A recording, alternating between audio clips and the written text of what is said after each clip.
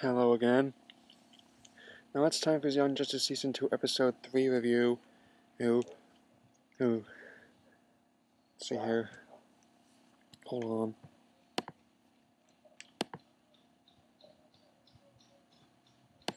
Alienated, yeah, there we go. Uh, there's a lot more of this G. Gordon Godfrey guy. I, I, I, he's pretty much a pastiche most most conservative comment news commentators. News and uh, I gather, turns out he works for Dark Seed. Darkseid in other continuities. I'm not sure if it holds true in this one, but Darkseid is bad news. You can trust me on that. Just revolves around the heroes, know, trying to stop the Quillateans from getting him furthering their invasion, but they're getting help from someone else because they don't have any any Zeta platforms um, on Earth. Earth.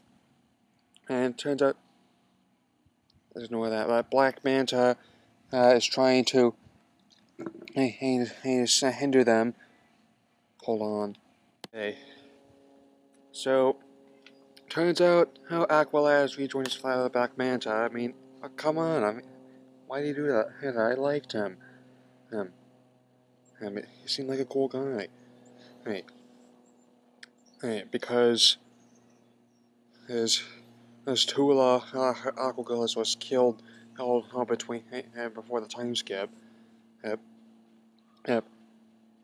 Also, how how it this follows the episode revolves on on more of the heroes like Superman, Wonder Woman, and then Batman, as well as Wonder Girl, all Superboy, Miss Martian, and Beast Boy going off, off on the island and stop Quillateans. Black Manta plants a bomb in there, and Superman tries to get them to evacuate, but they won't listen to him, and Quillateans is killed.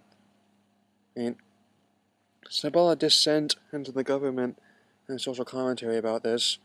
Yes, and I'm wondering, wondering if they're really going to follow up on, on, on G. Gordon Godfrey being part of, part of Darkseid. He, so, rendering my verdict right now, giving this episode 3 stars out of 4. I'm gonna keep this episode rolling before the start, episode start up again on the 29th. And that's all I have to say. In the comments box below, and I'll see you later.